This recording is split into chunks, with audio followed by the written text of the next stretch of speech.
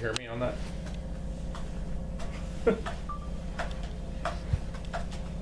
All right, full run by, full run by. Oh, wow. Wow. So why is it called a Pullman's room? Well, this, this is part of Pullman's room. Why? There was a Um, guy named John Pullman. He he invented it like his own car, manufactured his own car. Now, uh, it was this, a this is a sleeper, a sleeper area. Right, a sleeper car. Oh, I see.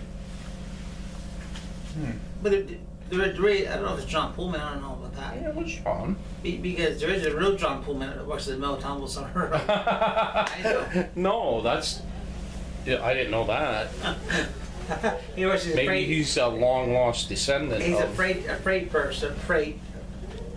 of the of John Pullman who invented the Pullman or manufactured. What? I'm not bullshit. I know, I know. I'm bull- I I just, I just think it's, it's cool. No, I'm not. Yeah. I don't know a lot about trains. I know some things. I don't know as much as you do. Right.